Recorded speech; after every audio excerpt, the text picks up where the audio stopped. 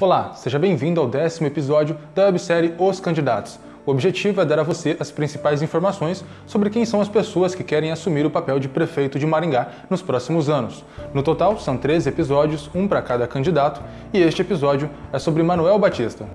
Nós amamos Maringá. Para ser candidato à prefeitura de Maringá. Escolheu o meu nome. Quero fazer gestão pública em Maringá. Me sinto no momento ideal. Fazer as coisas certas. Um trabalho diferente. Fazer com que a nossa cidade não fique estagnada. Ser prefeito de Maringá. Ser prefeito de Maringá. Ser prefeito de Maringá. Ser prefeito.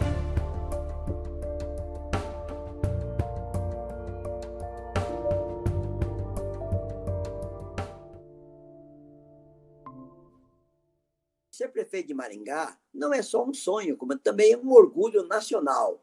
Uma cidade que eu faço um trabalho humano há mais ou menos 35 anos, um trabalho com carinho e respeito ao ser humano, ouvindo a comunidade, ouvindo os conselhos. Eu cheguei a uma conclusão que eu tenho condições de administrar a cidade de Maringá. Fui vereador, sim senhor, sou deputado pelo quarto mandato consecutivo, estou preparado para administrar a cidade de Maringá, não com promessa, e sim com conhecimento.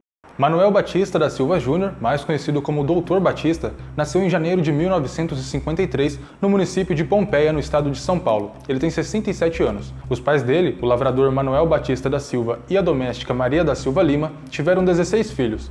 Cinco morreram e quatro foram adotados. Segundo Batista, para o ensino primário ele frequentou as escolas estaduais Cândido Mariano e Antônio Correia, em Aquidauana, no Mato Grosso do Sul, e o segundo grau ele concluiu no Colégio Bezerra de Menezes, em Marília, São Paulo.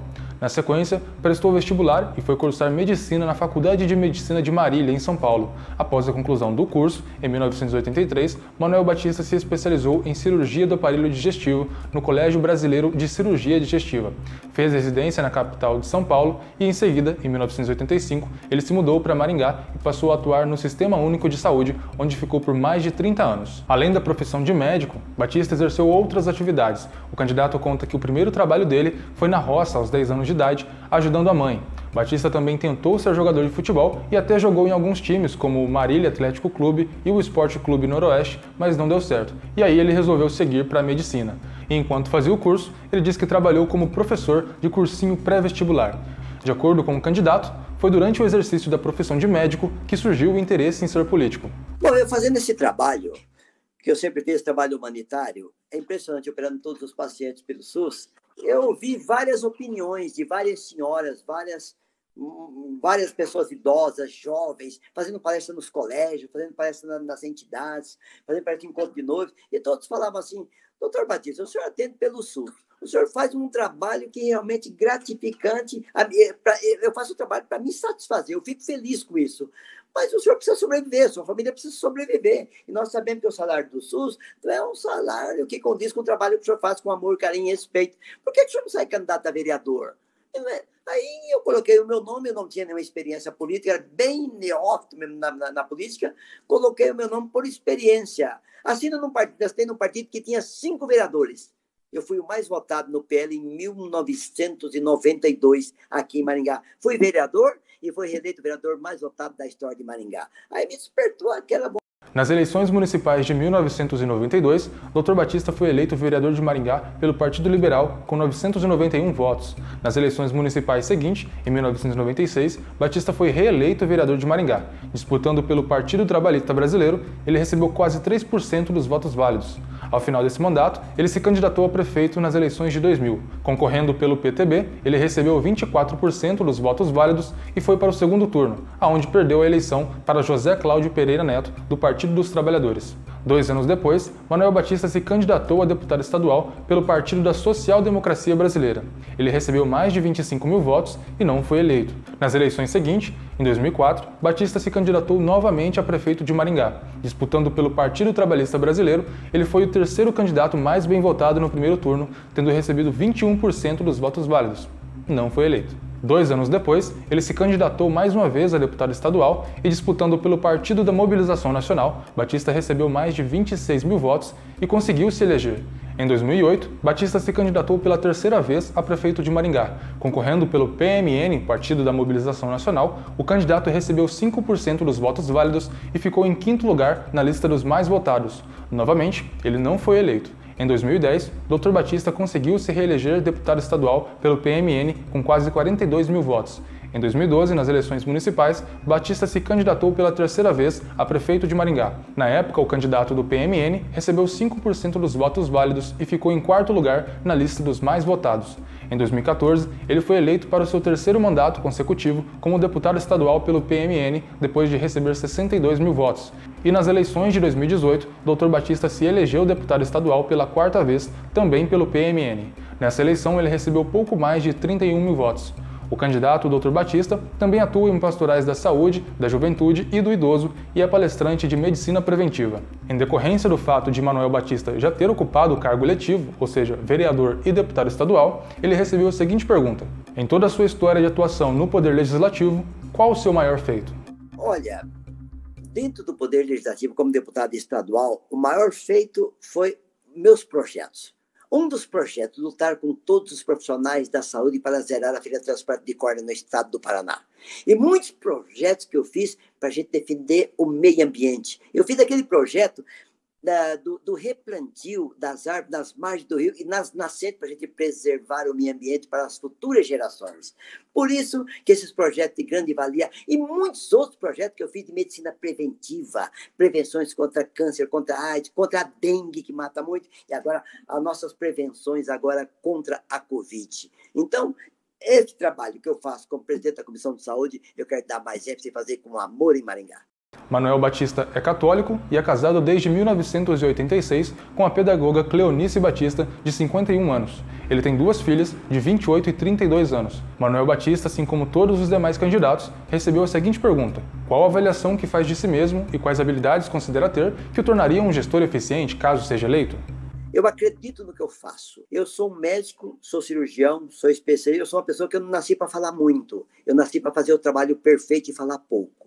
Por isso que eu trabalho com a máscara na boca. Vai impactar muito bem para a gente ir de encontro com essa pandemia.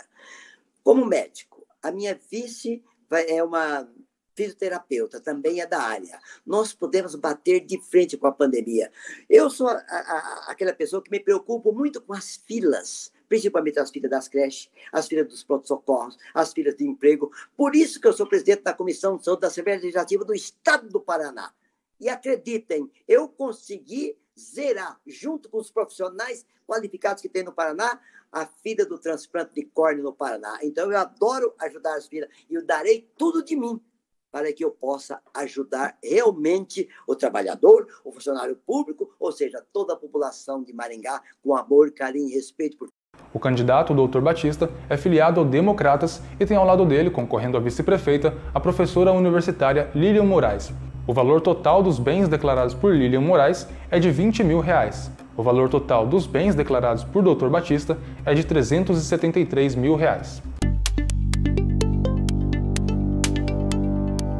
O candidato Dr. Batista, assim como todos os demais candidatos, recebeu um minuto para que pudesse avaliar seis áreas de Maringá e dizer quais são as suas propostas para cada uma delas. Essas áreas são saúde, educação, segurança, economia, cultura e mobilidade urbana. Vamos à primeira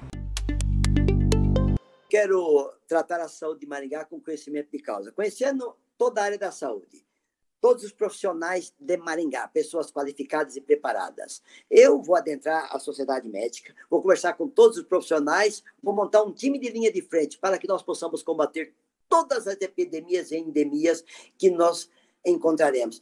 No, atualmente, nós estamos combatendo o que é a Covid-19. Precisamos de preparo, precisamos ser qualificado, precisamos ter bom senso, precisamos saber como, como mexe com o ser humano. Isso eu sei. Esse tratamento eu sei fazer. Por isso que eu quero tratar a saúde de Maringá respeitando a nossa enfermagem, respeitando os auxiliares de enfermagem, respeitando os profissionais da saúde, ou seja, contratando realmente, quando necessário, pessoas para que nós possamos, pessoas médicas, para que nós possamos realmente ir para a linha de frente e fazer uma saúde com amor, carinho e respeito à população de Maringá, porque eles merecem.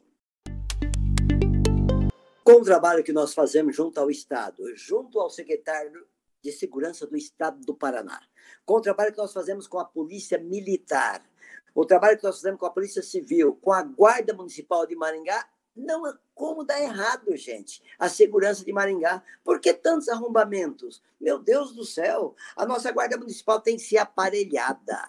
A nossa Guarda Municipal tem que ter condições de fazer parceria, um trabalho conjunto com a Polícia Militar e a Polícia Civil, para que nós possamos realmente combater o bandidismo. Porque não é possível. Nós temos que tolerar, sim, o menor carente. Nós temos, agora, o menor delinquente, nós temos que recuperá-lo. Então, tem que ter um trabalho rígido, fazer um trabalho de respeito, saber quem está abordando, saber qual cidadão que é um cidadão que nunca errou, de repente dá uma erradinha e de repente as pessoas chegam e, e faz uma apreensão muito grande. De jeito nenhum, nós temos que fazer parceria com os nossos policiais e a Guarda Municipal para trazer uma boa em se falar em educação, eu falo com muita propriedade. Um menino que entrou na escola com 10 anos de idade, um menino que hoje ele pensa muito na garantia de vagas na demanda da educação infantil, um aumento no atendimento das creches municipais, um atendimento na educação especial com suas peculiaridades, né? Adequação à escola, atualizada, aquelas multimídia, ou seja, também reconhecimento da importância do profissional da educação através da recuperação salarial e o social dos nossos professores. Eu me preocupo muito também em fomentar as atividades e capacitações dos funcionários e professores, claro, claro, é, levando em conta a importância do serviço público, de uma forma de valorizar e qualificar o servidor público. Por isso que eu quero fazer educação com conhecimento de causa, porque também sou ex-professor de cursinho. Eu sei o que ser um professor na pele, isso eu sei. Então, com isso, nós vamos, com certeza, eu tenho um compromisso em valorizar. A nossa economia, ela tem que ser criativa, sabe, e sustentável. Quando nós conversamos, por exemplo, com os empresários, batemos papo com todos os empresários, os empresários hoje estão empresários e microempresários são os que mais sofrem. E nós sabemos quem sempre alavancou a cidade de Maringá. Todos nós sabemos que foi o comércio, foi a, o agronegócio, sabemos de tudo isso. Então, por que não preparar profissionais, para que nós possamos realmente fazer parceria com as empresas. Nós temos que ajudar os empresários, junto ao governo estadual, junto ao governo federal. Nós temos que buscar recursos e fazer parcerias, porque quem alavanca realmente a cidade é o comércio. Então, nós temos que ter parceria com a Associação Comercial, nós temos que ter parceria com o CODEM, temos que ter parceria com a Civamar, pessoas que entende de economia, pessoas que são do ramo, são eles que são responsáveis pela geração de emprego, pela oportunidade de emprego, primeiro emprego, são os nossos. Olha, quando nós falamos de cultura, meu Deus do céu, a cultura para a sustentabilidade. Nós temos tantos talentos em Maringá. Quantos teatros que nós temos em Maringá?